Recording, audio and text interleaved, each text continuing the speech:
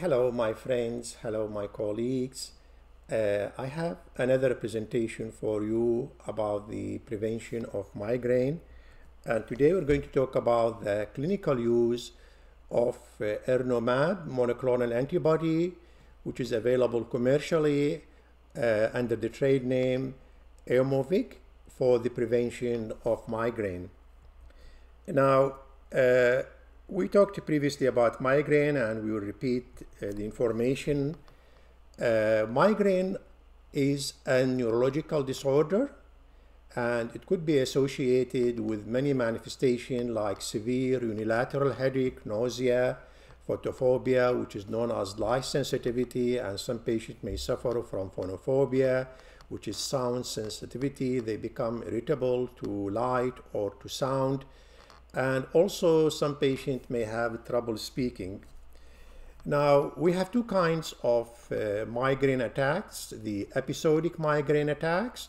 Here the patients suffer from headache or migraine uh, uh, less than 15 days per month.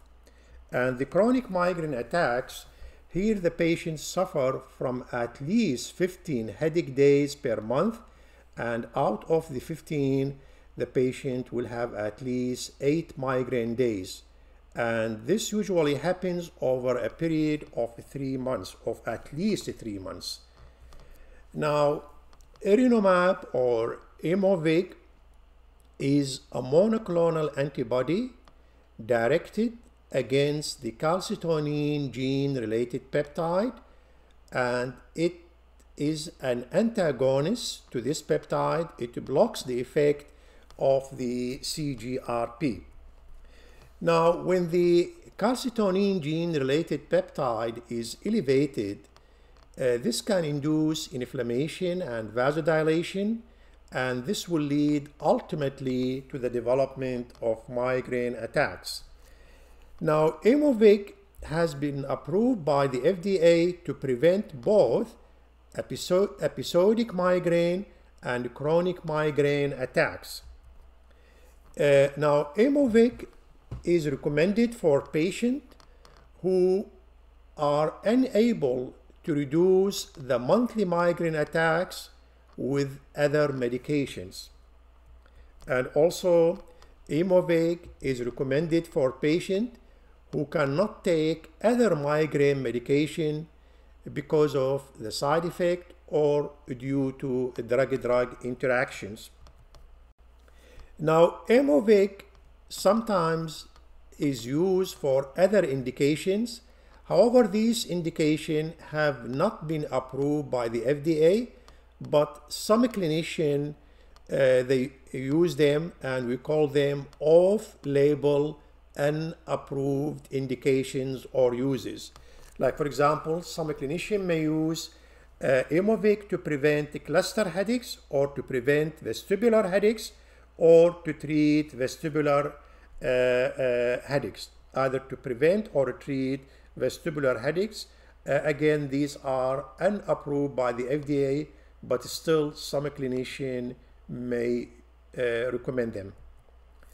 Now, Aimovig is usually used at a monthly dose of 70 milligrams subcutaneously or 140 milligram subcutaneously. Uh, most clinicians start with 70 milligram and later on may increase the dose to 140 milligram subcutaneously every month. Uh, this is an image of Aimovig.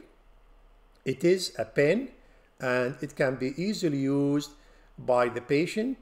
Of course, the patient is needs training either by the clinician or by the pharmacist to show how to inject with this pen.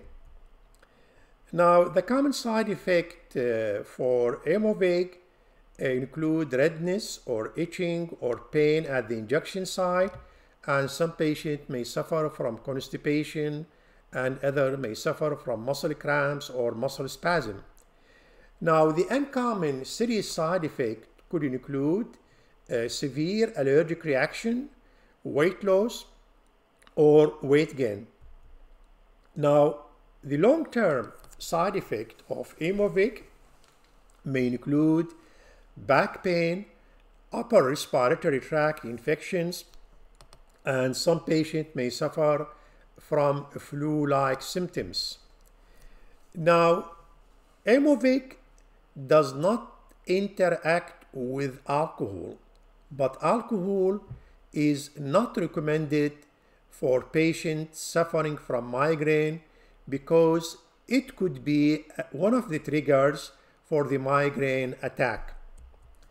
Uh, also, Aimovig so far does not interact with other medication. It is a new medication. Uh, we don't have reports about drug-drug interaction with Aimovig. Now, regarding the safety in a pregnancy is still unknown.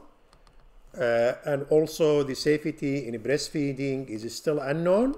We do not have any data to confirm the safety in a pregnancy or a breastfeeding. Uh, so it is not recommended to be used for pregnant women and for breastfeeding ladies. Uh, Aimovig injection or pen is usually stored in the fridge at a temperature between 2 to 8 degrees centigrade and it must be used within 7 days if the pen or the injection is taken out of the fridge. So the bottom line of this uh, seminar, uh, Erenumab, uh, which is known as Aimovig, is relatively safe and effective at a dose of 70 milligram or 140 milligram subcutaneously uh, monthly to decrease the frequency of episodic or chronic migraine attacks. Thank you very much for listening and watching and hope to see you again soon.